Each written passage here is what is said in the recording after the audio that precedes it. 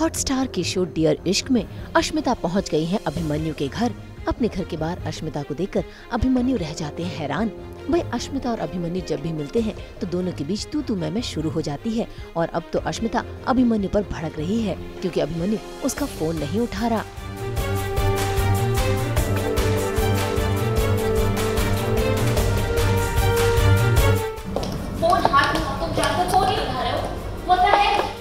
ऐसे में वो जब अभिमन्यु पर अपनी नाराज़गी जताती है तो अभिमन्यु एक टुक उसे देखे जाते हैं। इतना ही नहीं, वो तो अश्मिता से नज़रें भी चुरा रहे हैं, क्योंकि वो अश्मिता से प्यार जो करने लगे हैं।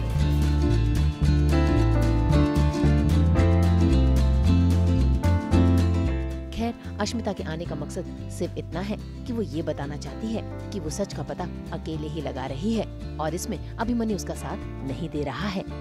मैं तुम्हें कंट्रोल करना भी नहीं मैं बस इतना कह रही थी कि यस आर्या का फ़ोन अनलॉक हो चुका बाय द वे तुम कह रहे थे तुम्हें इसमें इन्वॉल्व होना है, पर एक भी बार मुझे पूछा नहीं इसके बारे में।